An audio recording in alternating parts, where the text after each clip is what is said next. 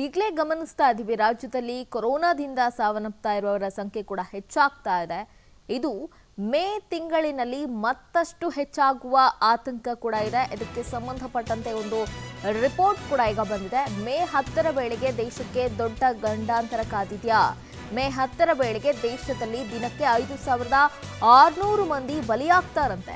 ಅಮೆರಿಕದ ವಾಷಿಂಗ್ಟನ್ ವಿವಿ ತಜ್ಞರು ಬೆಚ್ಚಿ ಬೀಳಿಸುವಂತಹ ರಿಪೋರ್ಟ್ ಅನ್ನ ಈಗ ಕೊಟ್ಟಿರುವಂತದ್ದು ಮೇ ಹದಿನೈದರ ವೇಳೆ ದೇಶದಲ್ಲಿ ನಿತ್ಯ ಹತ್ತು ಲಕ್ಷ ಕೋವಿಡ್ ಕೇಸ್ ಪತ್ತೆಯಾಗುವ ಸಾಧ್ಯತೆ ಇದೆ ಅಂತ ಹೇಳ್ತಾ ಇದ್ದಾರೆ. ಜುಲೈ ಅಂತ್ಯಕ್ಕೆ ದೇಶದಲ್ಲಿ ಕೋವಿಡ್ ಸಾವಿನ ಸಂಖ್ಯೆ ಆರು ಪಾಯಿಂಟ್ ಆರು ಐದು ಲಕ್ಷಕ್ಕೆ ಏರಿಕೆಯಾಗುವ ಸಾಧ್ಯತೆ ಇದೆ. ಇನ್ನು ಲಸಿಕೆ ನೀಡೋದ್ರಿಂದ ಎಂಬತ್ತ ಐದು ಸಾವಿರ ಮಂದಿಯ ಪ್ರಾಣವನ್ನ ಉಳಿಸಬಹುದು ಅಂತಾನು ಹೇಳಿದ್ದಾರೆ. ಕಡ್ಡಾಯವಾಗಿ ಮಾಸ್ಕ್ ಧರಿಸಿದ್ರೆ ಎಪ್ಪತ್ತು ಸಾವಿರ ಜನರನ್ನ ರಕ್ಷಣೆ ಮಾಡಬಹುದಂತೆ. ಇನ್ನು ಮುಂಜಾಗ್ರತೆ ಕೈಗೊಳ್ಳುವಂತೆ ಎಚ್ಚರಿಕೆಯನ್ನ ನೀಡಿದೆ ವಾಷಿಂಗ್ಟನ್ ವಿವಿ ಆರೋಗ್ಯ ತಜ್ಞರು. ಇದನ್ನು ಗಂಭೀರವಾಗಿ ಪರಿಗಣಿಸಲೇಬೇಕು. ಯಾಕಂದ್ರೆ ಮೇ ಹತ್ತರ ವೇಳೆಗೆ ನಿತ್ಯ ದೇಶದಲ್ಲಿ ಐದು ಸಾವಿರದ ಆರುನೂರು ಬಲಿ ಆಗುವಂತ ಚಾನ್ಸಸ್ ಇದೆ ಅನ್ನುವಂತಹ ಒಂದು ರಿಪೋರ್ಟ್ ಅನ್ನ ಅಮೆರಿಕದ ವಾಷಿಂಗ್ಟನ್ ವಿವಿ ತಜ್ಞರು ಕೊಟ್ಟಿದ್ದಾರೆ. ಈ ಬಗ್ಗೆ ಮತ್ತಷ್ಟು ಡೀಟೇಲ್ಸ್ ಅನ್ನ ನೀಡ್ತಾರೆ ನಮ್ಮ ಪ್ರತಿನಿಧಿ ಸಂತೋಷ್.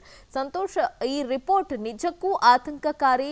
ಈಗಲೇ ಪ್ರತಿದಿನ ಗಮನಿಸ್ತಾ ಇದ್ವಿ, ನೂರರ ಮೇಲೆ ಹೋಗ್ತಾ ಇದೆ, ಸಾವಿನ ಸಂಖ್ಯೆ ಇದೇ. ನಮಗೀಗ ಅರಗಿಸಿಕೊಳ್ಳಕ್ ಆಗ್ತಾ ಇಲ್ಲ. ಇನ್ನು ಐದು ಸಾವಿರದ ಆರ್ನೂರು ಮಂದಿ ಬಲಿಯಾಗ್ತಾರೆ ಅಂತ ಹೇಳಿದ್ರೆ ನಿಜಕ್ಕೂ ಇದು ಶಾಕಿಂಗ್ ರಿಪೋರ್ಟ್ನಲ್ಲಿ ಯಾವೆಲ್ಲ ಅಂಶವನ್ನ ಉಲ್ಲೇಖ ಮಾಡಿದೆ? ಸಂತೋಷ್? ಖಂಡಿತ ಲೀನಶ್ರೀ ಈಗಾಗಲೇ ದೇಶದಲ್ಲಿ ದಾಖಲಾಗ್ತಿರುವಂತಹ ಕೋವಿಡ್ ಪ್ರಕರಣಗಳ ಸಂಖ್ಯೆ ಸಾಕಷ್ಟು ಗಾಬರಿಯನ್ನ ಉಂಟು ಮಾಡ್ತಾ ಇದೆ. ಜೊತೆಗೆ ಭಯಭೀತ ವಾತಾವರಣವನ್ನ ದೇಶದಲ್ಲಿ ಉಂಟು ಮಾಡ್ತಿದೆ ಅಂತ ಹೇಳಿದ್ರೆ ತಪ್ಪಾಗ್ಲಿಕ್ಕಿಲ್ಲ. ಪ್ರತಿದಿನ ಮೂರು ಲಕ್ಷದ ಮೂವತ್ತೈದು ನಲವತ್ತು ಸಾವಿರ ಈ ರೀತಿಯಾದಂತಹ ಪ್ರಕರಣಗಳು ದಾಖಲಾಗ್ತಿದೆ. ಇನ್ನು ಪ್ರತಿದಿನ ಒಂದು ಸಾವಿರಕ್ಕೂ ಹೆಚ್ಚು ಜನ ಸಾವನ್ನಪ್ತಾ ಇದ್ದಾರೆ ಅಂತ ಹೇಳಿದ್ರೆ ಇದು ಅಷ್ಟು ಸಣ್ಣ ಮಾತಲ್ಲ. ಹೀಗಾಗಿ ಇದೀಗ ಭಾರತ ವಿಶ್ವದಲ್ಲಿ ಆ, ಅತಿ ಹಾಟ್ಸ್ಪಾಟ್ ದೇಶವಾಗಿ ಎಲ್ಲಾ ದೇಶಕ್ಕೂ ಕೂಡ ಏನೋ ಬೊಟ್ಟನ್ನ ಮಾಡಿ ತೋರಿಸುವಂತಾಗಿದೆ. ಈ ಹಿಂದೆ ಕೋವಿಡ್ ಮೊದಲನೇ ಅಲೆ ಬಂದಂತ ಸಂದರ್ಭದಲ್ಲಿ ಭಾರತ ಉತ್ತಮವಾದ ರೀತಿಯಲ್ಲಿ ಕ್ರಮಗಳನ್ನು ತೆಗೆದುಕೊಂಡಿತ್ತು. ಮೊದಲನೇ ಅಲೆಯನ್ನ ಚೆನ್ನಾಗಿ ನಿಭಾಯಿಸಿತ್ತು ಅನ್ನುವಂತ ಒಂದು ಹೆಗ್ಗಳಿಕೆ ಭಾರತಕ್ಕಿತ್ತು. ಬಹುತೇಕ ವಿಶ್ವವಿದ್ಯಾನಿಲಯಗಳು ವಿಲಯಗಳು ಕೂಡ ನಡೆಸಿದಂತಹ ಅಧ್ಯಯನಗಳಲ್ಲೂ ಕೂಡ ಯಾವ ರೀತಿಯಾಗಿ ಕೋವಿಡ್ ಸೋಂಕು ಹರಡುತ್ತೆ, ಜೊತೆಗೆ ಆಯಾ ದೇಶಗಳಿಗೆ ಸಂಬಂಧಪಟ್ಟಂತಹ ಕೆಲವೊಂದಿಷ್ಟು ಅಂಕಿ ಅಂಶಗಳನ್ನ ಬಿಡುಗಡೆ ಮಾಡೋದಕ್ಕೂ ಕೂಡ ಮುಂದಾಗಿತ್ತು.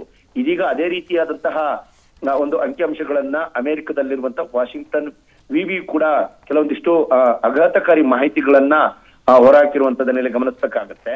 ಮುಖ್ಯವಾಗಿ ಭಾರತ ಮುಂಜಾಗ್ರತಾ ಕ್ರಮಗಳನ್ನು ತೆಗೆದುಕೊಳ್ಳಲಿಲ್ಲ ಅಂತ ಹೇಳಿದ್ರೆ, ಸಾಕಷ್ಟು ರೀತಿಯಾದಂತಹ ದೊಡ್ಡ ಮಟ್ಟದ ಒಂದು ತೊಂದರೆಯನ್ನ ಲಾಸ್ ಅನ್ನ ಭಾರತ ಅನುಭವಿಸ್ಬೇಕಾಗತ್ತೆ. ಜೂನ್, ಜುಲೈ ಮೇ, ಮೂರು ತಿಂಗಳು ಭಾರತಕ್ಕೆ ಅತಿ ದೊಡ್ಡದಾದಂತಹ ಒಂದು ಆ, ಆಘಾತಕಾರ ಆ, ಒಂದು ತಿಂಗಳುಗಳಾಗಿದೆ ಅನ್ನುವಂಥದ್ದನ್ನ ಇದೀಗ ಈ ಒಂದು ಅಧ್ಯಯನದಿಂದ ಮಾಹಿತಿಗಳು ಬೆಳಕಿಗೆ ಬಂದಿದೆ.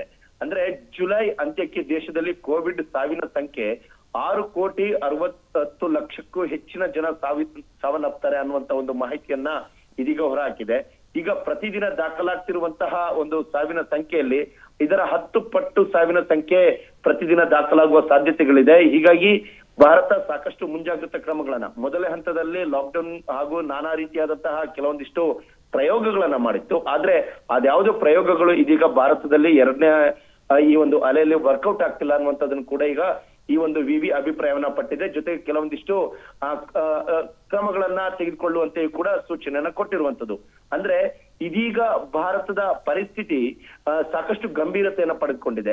ಅಂದ್ರೆ ಕೇವಲ ಕೆಲವೊಂದಿಷ್ಟು ವರ್ಗದ ಜನರಿಗೆ ಮಾತ್ರ ಲಸಿಕೆಯನ್ನು ನೀಡೋದಕ್ಕೆ ಭಾರತ ಮುಂದಾಗಿದೆ. ಆದ್ರೆ ಪ್ರತಿಯೊಬ್ಬರಿಗೂ ಕೂಡ ಲಸಿಕೆ ನೀಡೋದಕ್ಕೆ ಭಾರತ ಮುಂದಾಗಿದ್ರೆ ಖಂಡಿತವಾಗಿ ಈ ಒಂದು ಸಾವಿನ ಹಾಗೂ ಕೋವಿಡ್ ಪ್ರಕರಣಗಳು ದಾಖಲಾಗ್ತಿರುವಂತಹ ಅಂಕಿಅಂಶಗಳನ್ನ ಕಡಿಮೆ ಮಾಡೋದಕ್ಕೆ ಸಾಧ್ಯವಿದೆ. ಜೊತೆಗೆ ಎಲ್ಲರಿಗೂ ಕೂಡ ಲಸಿಕೆಯನ್ನ ನೀಡಿದ್ದೆ. ಆದಲ್ಲಿ ನಾನಾ ರೀತಿಯಾದಂತಹ ಪ್ರಯೋಗಗಳನ್ನ ಬಹುತೇಕ ದೇಶಗಳು ಕೂಡ ಮಾಡ್ತಾ ಇದೆ. ಅದೇ ಮಾದರಿಗಳನ್ನ ಭಾರತ ಕೂಡ ಅನುಸರಿಸಬೇಕಾಗಿದೆ.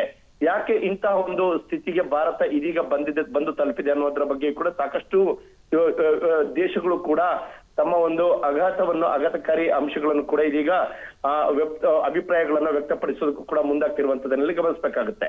ಮುಖ್ಯವಾಗಿ ಈಗ ಅಮೆರಿಕದ ವಾಷಿಂಗ್ಟನ್ ವಿಬಿ ಕೊಟ್ಟಿರುವಂತಹ ಅಧ್ಯಯನದ ಪ್ರಕಾರ, ಮೇ ಹದಿನೈದರ ವೇಳೆಗೆ ದೇಶದಲ್ಲಿ ಪ್ರತಿನಿತ್ಯ ಹತ್ತು ಲಕ್ಷ ಕೋವಿಡ್ ಪ್ರಕರಣಗಳು ದಾಖಲಾಗ್ತದೆ ಈಗ ಇರುವಂತದನ್ನ ಗಮನಿಸೋದ್ರೆ ಇದರ ಮೂರು ಪಟ್ಟು ಪ್ರಕರಣಗಳು ಪ್ರತಿನಿತ್ಯ ದಾಖಲಾಗುತ್ತೆ ಅನ್ನೋದನ್ನ ಈ ಒಂದು ಅಧ್ಯಯನದಿಂದ ಮಾಹಿತಿ ಬಹಿರಂಗಗೊಂಡಿದೆ.